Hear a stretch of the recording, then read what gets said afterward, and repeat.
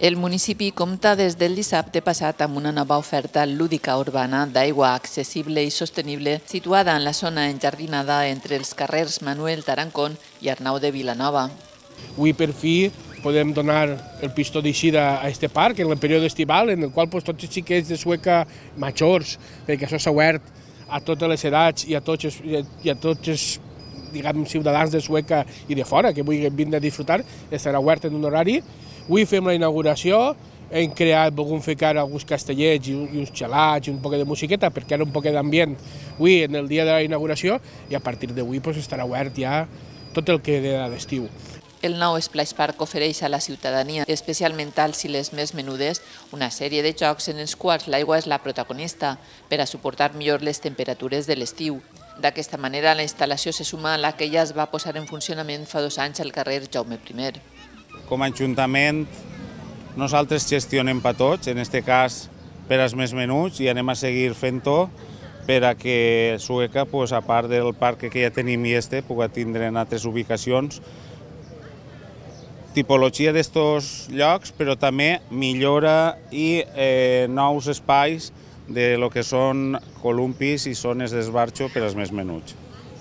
El parc compta amb un sistema de reciclatge i reconducció de l'aigua perquè no es malgaste. Està molt implantat el que són, pues, en, lo que són parcs aquàtics o en hotels o en, o en residencials, en zones recreatives residencials per a menuts, no? però cada vegada mos, mos dia el client, no? el, el nostre proveïdor, que, que era més, que era més les ciutats que apostaven, sobretot les grans ciutats, les que apostaven per aquests punts de refresc, aquests punts d'evacuació de, de calor, no? Que no tinguen a soles que aquestes piscines o aquests espais d'aigua, sinó que també tinguen aquests punts de refresc. El projecte, amb un pressupost de 183.247 euros, ha sigut cofinançat per la Diputació de València i l'Ajuntament. Des del consistori han avançat la intenció de millorar altres zones de jocs del municipi, com ara el parc annex a aquest Splash Park. A part de lo que és el tema d'aigua, també anem a fer ara una actuació sí, una, un lifting a este parque, però després va tot nou. L'horari serà de dilluns a diumenge de 10 a 2 de migdia i de 5 a 9 de la vesprada. Una vegada finalitzat el període estival, els elements de joc es retiraran per evitar la seva deterioració. El passat dissabte es va celebrar al casal de la Falla Bernat Aliño el campionat solidari de Jocs de Taula. Estava enmarcat dins dels 12 mesos 12 causes en la programació que la Falla ha organitzat aquest any per commemorar el seu 75è aniversari. D'aquesta manera, a les 9 del matí donava inici a aquest campionat de domino, parxis i truc. El dia abans havia realitzat el sorteig de les parelles al mateix casal. La parella guanyadora del campionat de parxís ha estat la formada per Minerva i Sandra de la falla Troi Flama. La subcampiona la formada per Borja i Laura de la falla Xúquer. Pel que fa al campionat de truc, els guanyadors han estat José Enrique i Llorca, també de la falla Xúquer. I els subcampions José Luis i Víctor de la falla Bernat Aliño.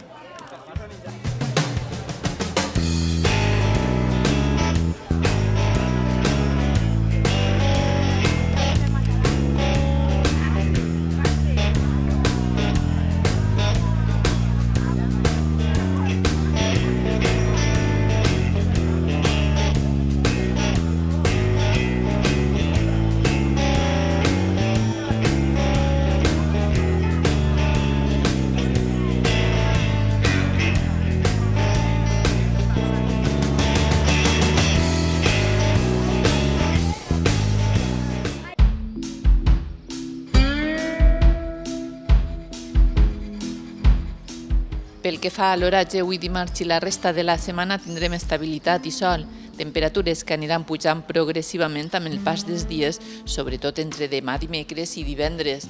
L'arribada d'una massa d'aire procedent del nord d'Àfrica ens deixarà el primer episodi sufocant pel que portem d'estiu. Calor que reforçarà més a finals de setmana, però sobretot de cara a inicis de la pròxima.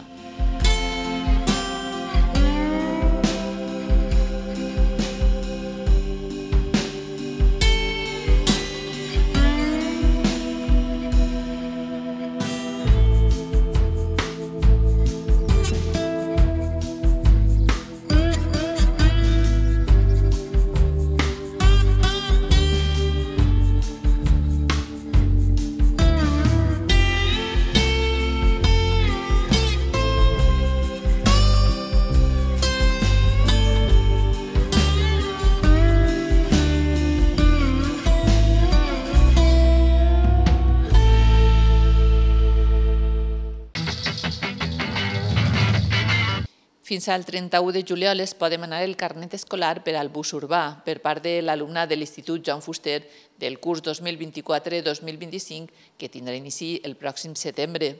Per a la tramitació es podrà sol·licitar de manera telemàtica a través de la seu electrònica de l'Ajuntament.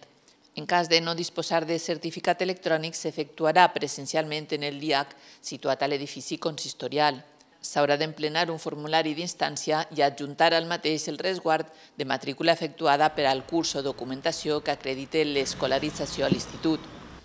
Una vegada registrades i comprovades les dades, el Departament d'Educació es posarà en contacte amb les persones interessades per a recollir-lo en el segon pis de l'Ajuntament, en el Departament d'Educació.